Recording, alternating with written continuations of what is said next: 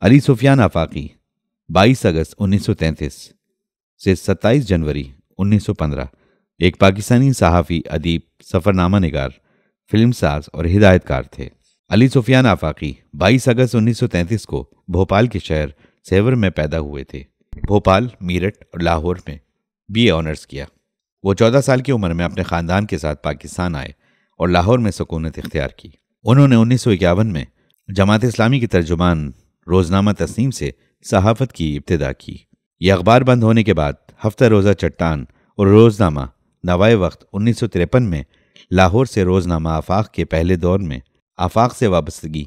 فلمی صفحے کی اشاعت سے روزنامہ صحافت میں پہلی بار فلم کا تعارف۔ انیس سو ستانوے میں شباب کیرانوی کی شراکت میں فلم ٹھنڈی سڑک بنائی۔ فلم کی کہانی مکالمے اور منظرنامہ لکھا۔ انیس سو اٹھاون جب جنرل ایوب خان کا مارشل لاء لگا اور اخبارات پر پابندیاں لگیں تو آفاقی صحافت چھوڑ کر مکمل طور پر فلموں کی طرف آ گئے۔ وقتی طور پر فلم سے وابستگی اختیار کی، آدمی کے مکالمے اور منظرنامہ لکھا۔ دوست و فزکی کے نام سے کرائم اینڈ پنشمنٹ کو فرشتہ کے نام سے اخذ کیا اور بھی کئی فلموں کا تحریری کام کیا۔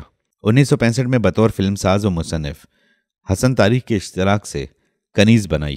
اس کے بعد میرا گھر، میری جنت، حسن تاریخ سے علیحدہ ہو کر سزا بنائی، جس میں نئے ہیرو جمیل کو متعارف کرایا اور پہلی بار روزینہ کو ہیروئن لیا۔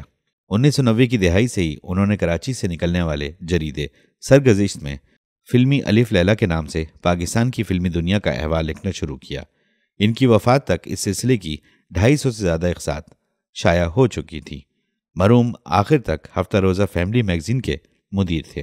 علی سفیان آفاقی نے کئی سفر نامے اور کتابیں بھی لکھی جو خاصی مقبول ہوئیں۔